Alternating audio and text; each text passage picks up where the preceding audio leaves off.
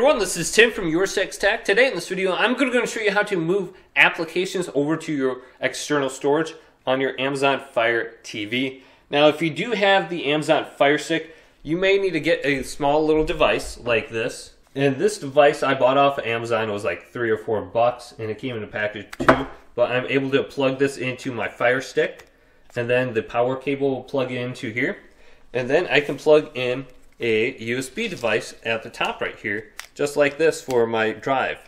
Then on your Fire TV, this is significantly easier. All you have to do is go to the back of the TV and then plug in the drive. So on the back of my Fire TV, there's simply one USB slot I can just plug this into and it's very easy to connect. Now when you plug in your USB device, it should pop open right away and it'll tell you USB device needs to be formatted, etc. It's not supported. Just go to external storage and you can format it on screen. That doesn't pop up, you can go down to where device and software is located right here. Then USB drive should be displaying on your screen. Select this and go to format to external storage. Now to actually move applications to your device, under device and software, you want to go to format to internal storage. And this says select this option if you intend to use the Fire Stick apps that are stored on it.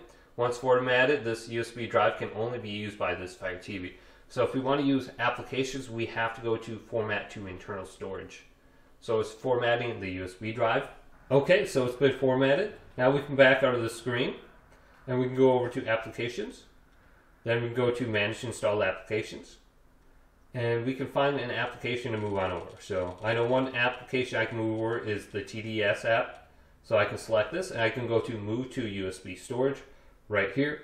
Now not every application will be able to be moved over to the internal storage. So you have to look through the application list and just see which one you can and what ones you cannot. But this can help clear up some memory and storage space on your Amazon Fire Stick or your Fire TV very easily. So hopefully this video did indeed help you guys out. Did, leave a big thumbs up and subscribe to my channel down below for more tech up videos coming up next on Your Six Tech.